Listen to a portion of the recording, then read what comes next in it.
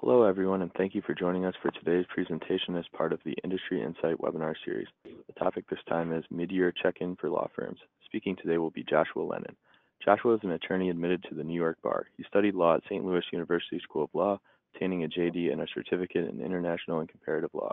During this time, Joshua clerked for the Missouri Attorney General, helping prosecute discrimination claims on behalf of Missouri citizens.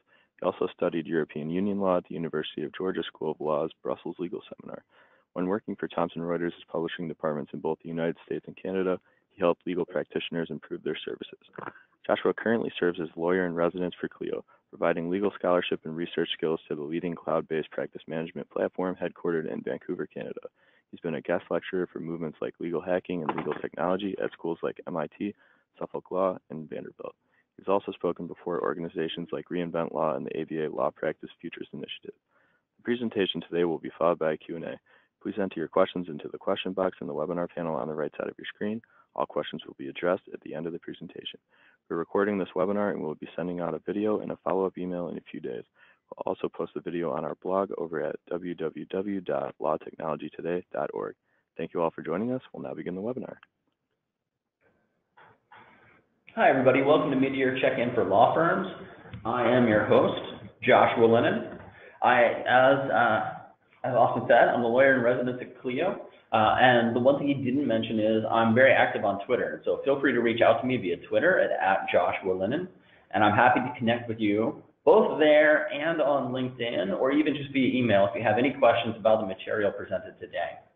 What I'd like to cover today are goal setting for law firms and making sure that you have goals and you avoid some of the common traps associated with those goals looking at a couple of easy ways to measure your firm's progress in 2018, some simple steps to bring your firm up to date if you find yourself lagging. And then we're going to dig into something that I think is really interesting, and that's seasonality's impact upon your law firm. Um, most law firms know they have good and bad months, but they don't necessarily know in advance which those are. I think we're getting to the point where we actually can start predicting what are good and bad months for your law firm. And I'm going to dig into what that means and how it will affect your law firm's total finances. And that'll be our last thing where I'll, I'll uh, debut a simple tool that we built specifically for the attendees of this webinar on how to project your 2018 total finances. Uh, and that'll be followed up by questions. So with that, let's jump into the first one, goal setting for law firms. So as part of Clio's research into the legal industry, we conduct uh, extensive surveys as well as data analysis uh, on a variety of different topics. And one thing we did was the 2017 Legal Practitioner Snapshot, where we interviewed over 3,000 lawyers across the United States in a variety of different law firm sizes. And one of the questions we asked was, if I had more time, I would spend it either attending to personal matters, building my law firm's business, or on more billable work.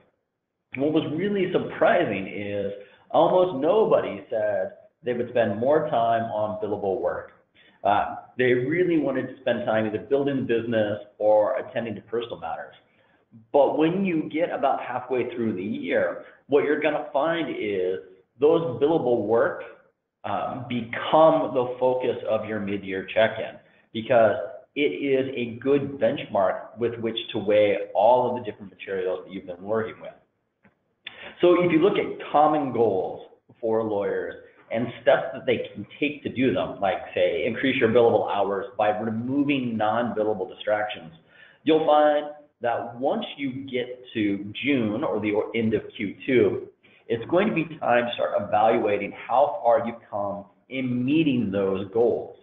So you should be able to look at these, recognize them as analogous to a goal within your law firm, and figure out if you have the means of tracking them. Now, for most people, it's going to be uh, either an increase in billable hours, a decrease in missed deadlines for being more organized. Uh, growing your law firm business will be an increase in the number of matters, and having more work-life balance, while it isn't necessarily indicative uh, or sorry, indicated via tracking your firm's finances, if you don't see a negative change in your finances while performing this type of work, you actually are in the best place to be. So once you set goals, what you need to be able to do is avoid some traps. And a mid-year check-in is actually the best place to start doing this. First off, you should go back to the beginning of 2018, look at your goal, and make sure that you've taken concrete steps to meet it. If you haven't, there's good news. You still have six months left, so don't panic. But it is a good moment to ask, have I devoted time each month toward meeting this goal or improving how I perform on this goal? The next thing that you should take a look at is, did I choose the wrong goal for 2018?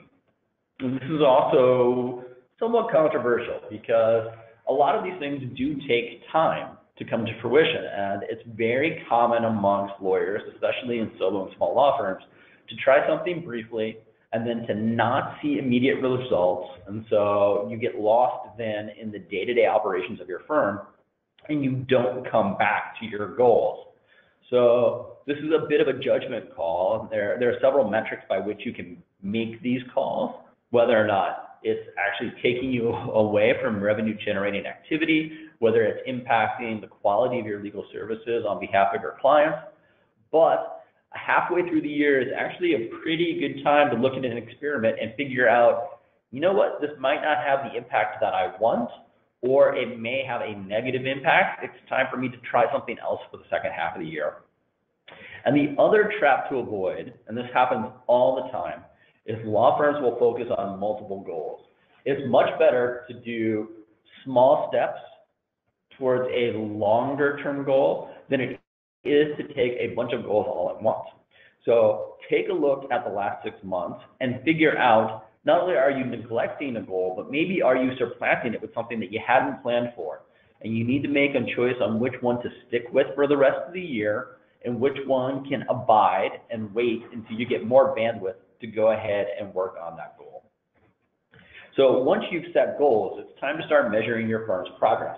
And what I'm going to show you are some simple tools that'll help you keep track of it, not just now, but throughout the entirety of your year.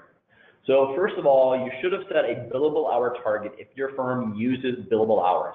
And as part of that practitioner snapshot, one of the things Clio helped uncover was really what are the targets that lawyers are setting for themselves.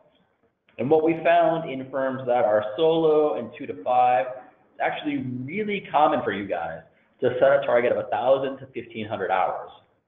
And for larger firms, 6 to 10, 11 to 25, it's 1,500 to 2,000 hours. Now, why the split between those two? I think it's because of the amount of administrative work in the larger firms that's being taken on by non-hourly billable staff. So if you have, for example, uh, a secretary who can just handle your day-to-day mail and phone calls, and not, which is not necessarily billable work, then you're going to give it to her so you can focus on billable work. But in the smaller firms, you don't have that support structure necessarily set up, and that's why your goals are a little lower to reflect your available time to devote to this. Now, in uh, a Clio presentation we gave in January, we actually took a look at ways that smaller firms can actually remove some of those billable, non-billable distractions and improve your ability to achieve a higher goal. But we're not focusing on that now. What we're going to take a look at is, did you set a target and how are you in meeting that target? So one of these two numbers, uh, 1500 or 2000, should be very familiar to you at this point. Now, one way to track that is by having a billable hour target. And Clio is an example of a tool that allows you to do this. So for example, in the settings in Clio, you can go in and set your default billable rate, your target billing for the year, your number of working days. Here I've used 250. That is actually the uh, number of business days within the year minus two weeks for vacation. Um, and then I set the date for when the fiscal year ends. What Clio does is actually calculates um, how many hours you might need to bill in a day, week, month, and year using those three numbers to come up with your target amount. And it gives you a target to meet each day. And so here I can see that using metrics that I've set, I have 5.9 hours as my daily target. And up to this point in time during this day, I've only billed about four. So maybe I need to take a look at, do I want to spend time on non-billable work today? Or do I want to take time and focus upon billable work? and measure my progress accordingly. But because this is a, a mid-year check-in, I don't just want to look at today. I want to look at my performance over time. And so Clio takes all that information and graphs it out for you. And so I can take a look at how am I performing against my target goals. So the black line that you see here would be if I were just meeting my target daily. And the blue line is my actual performance. And so we see it varies quite greatly between the two. Uh, sometimes it's higher, sometimes it's a little lower, but it's the insight that this graph gives you that should drive your daily, weekly, and monthly activities. I'm falling behind because maybe I'm doing a little bit more business development. That's not a, that's not a bad thing. But once I meet my goals for business development, I should flip back into billable work and make sure that I'm aligning with those goals as well. This is just one easy way to check in and see how you're doing. In addition to dashboards, you should also be looking at reports and making sure that your firm is running certain reports on a regular basis. I recommend at least monthly, but also quarterly and right now, the six month mark, to see how your firm is doing. Uh, and right here is an example of the firm revenue report available in Clio that lays out uh, the different practice areas, the different cases within your firm, and provides totals on how you're doing throughout the year. And so we recommend that users in Clio run this, again, at least on a monthly basis, uh, but are able to quickly and easily generate these figures. Now, this is just a, a quick snapshot of an example firm in the web publishing format. But what I find really interesting about all the reports in Clio is you can actually download them as spreadsheets as well. And that gives you the ability to start playing with those numbers and seeing what's a good fit for your firm um, and being able to dig into them in ways that even Clio doesn't let you do. So if you're going to be using reports like this, make sure it has the flexibility to allow you to build upon it is what I recommend. Now, another really interesting report that uh, firms aren't running often enough is an aging receivables report. So just like the revenue report takes a look at the money that you've taken in and where you are at this point in the year, an aging receivable point looks back and finds the money that you're missing. So bills that you've sent out to clients and have not received payment on. And we know that this is actually a huge pain point for a lot of lawyers out there. They're often waiting uh, 60, 90, 90 plus days on their clients paying the bills. And there are several reasons for this. Um, the most often cited is the client doesn't have the ability to pay the money all at once. And so you might need to work out a payment plan. But a lot of firms don't necessarily know, except by anecdote, how far behind some of their bills are.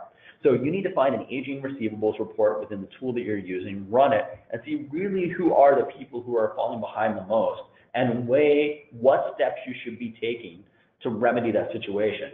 Maybe it's a direct phone call. Maybe it's working out a payment plan with them. Maybe it's just reissuing the bill and they are forgotten. Or maybe it's finding a better way for them to pay it. All of these things could be a part of your mid-year check-in and drive your goals moving forward. Once you've got some insight into where your firm stands, both in terms of performance and revenue, it's time to consider how to catch up.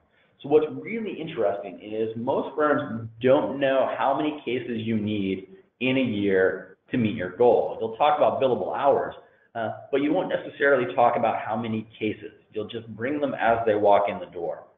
And so Clio publishes our annual legal trends report. Here's the cover from our most recent uh, late 2017 legal trends report. And one of the things we discovered in this report is that it is possible to calculate an average case value across certain industries. So let's talk about this report. So this is information drawn from 60,000 law firms who contribute certain types of metadata, not client data, to Clio for our analysis. And Clio looks at this data for two reasons. One, it helps us improve our tool, making sure that we're building the best tool possible for you. So it's 60,000 law firms doing quality control. And the second thing is it starts to give us insight on how we can help you guys run a better business in the practice of law. And so looking at some of that data, we were able to come up with the following chart.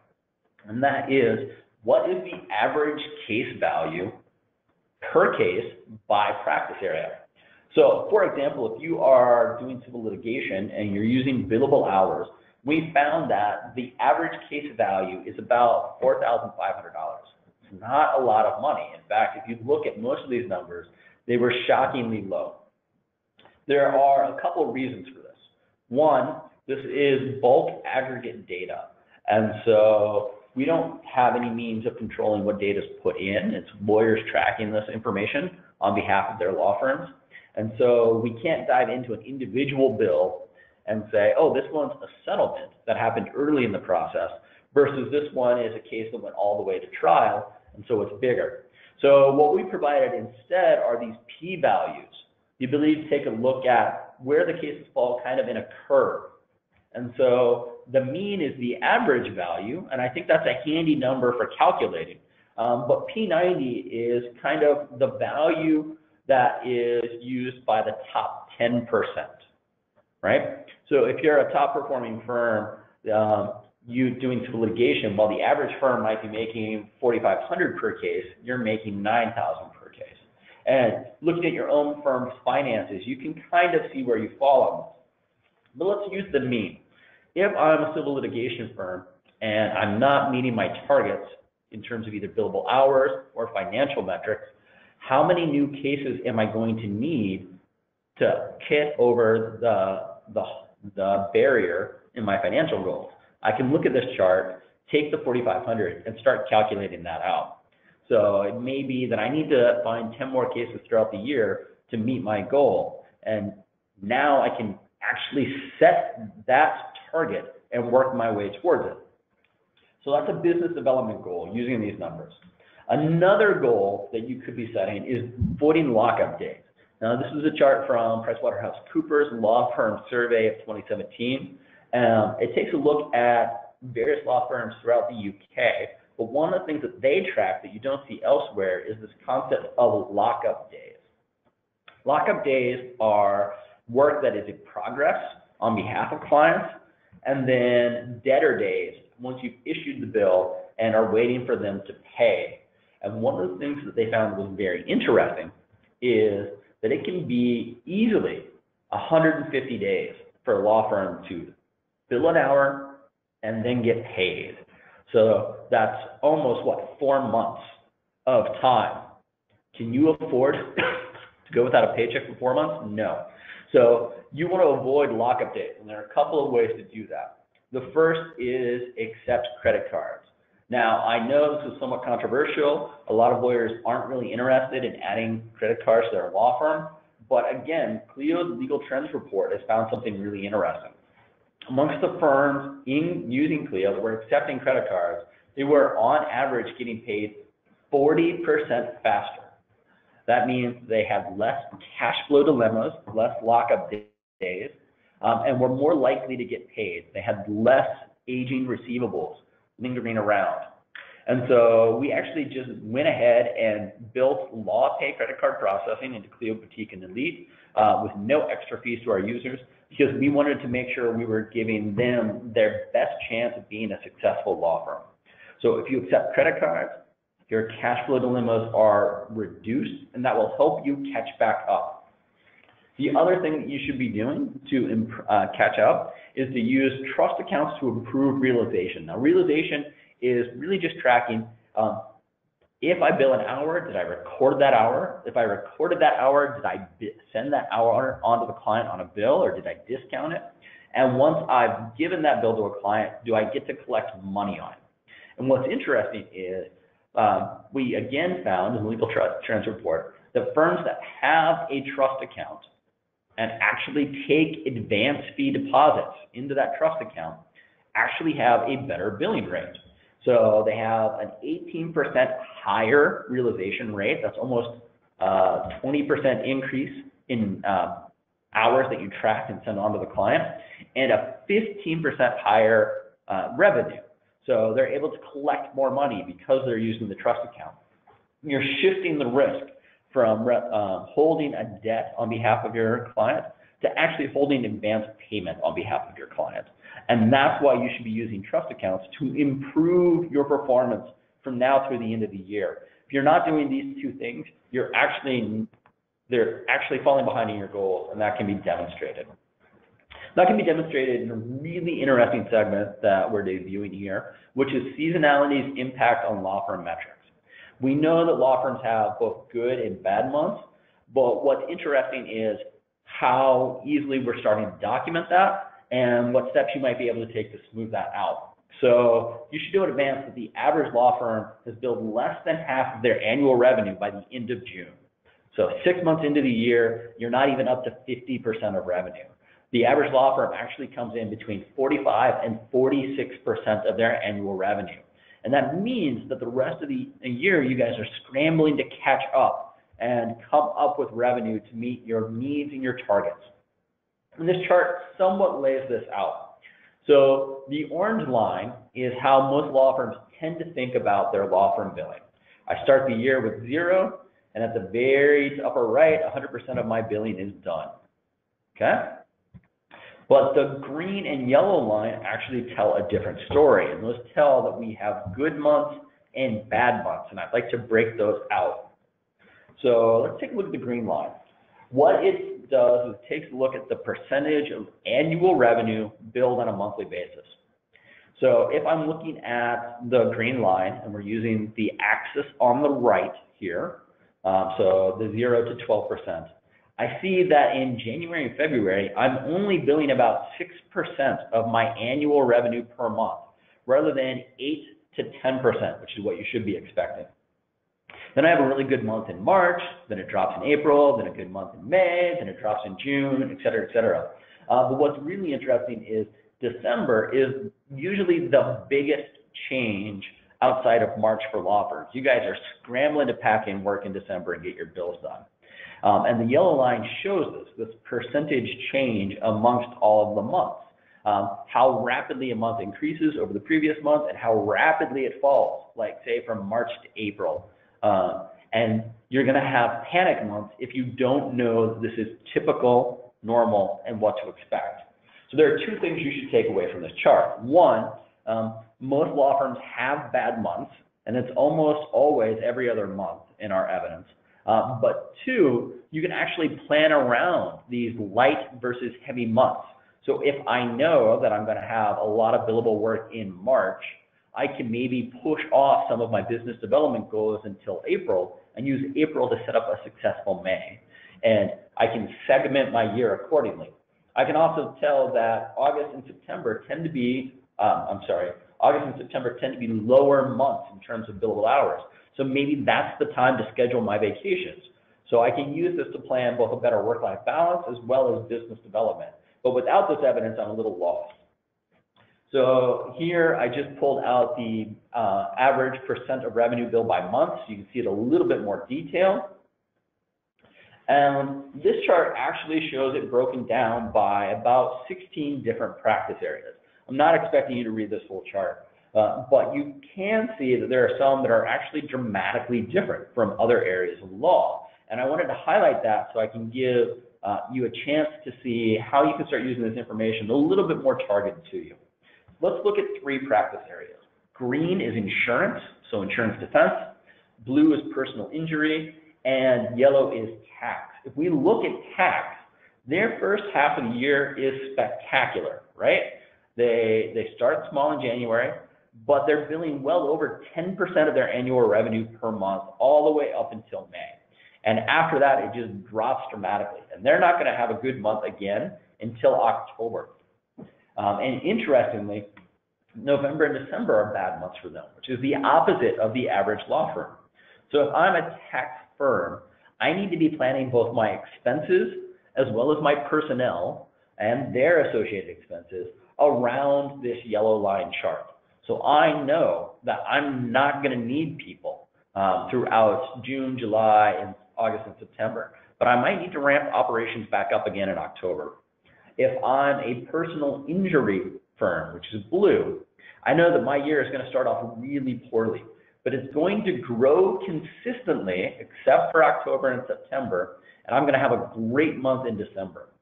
With insurance, it's actually incredibly varied. They're all over the map. And so, again, planning that accordingly they need to know how to staff and what revenues they're going to be able to count on. So different practice areas have different good months. And this chart shows that and is something that you can use in the legal trends report to help plan your year. So how can you use this information to project your law firm's 2018 total finances? Well, I built a tool for and it's a really simple tool. Um, you're going to receive a link to this as part of the follow-up email.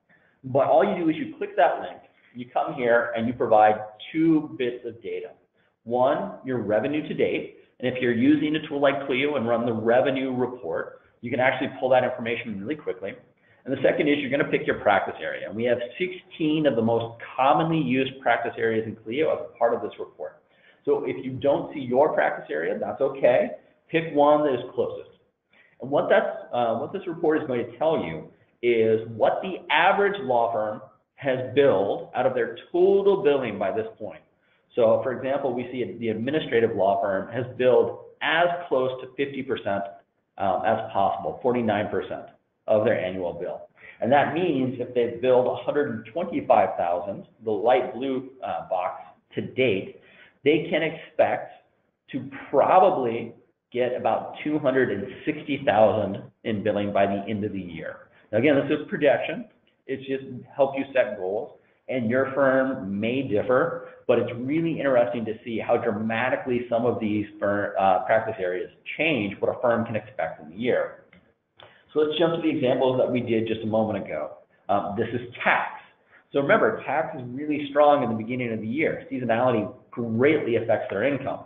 So if you're a tax firm and you've billed about 125,000 to date, um, because you have billed greater than 50% of your annual revenue on average, you can only really expect to get about uh, 250,000.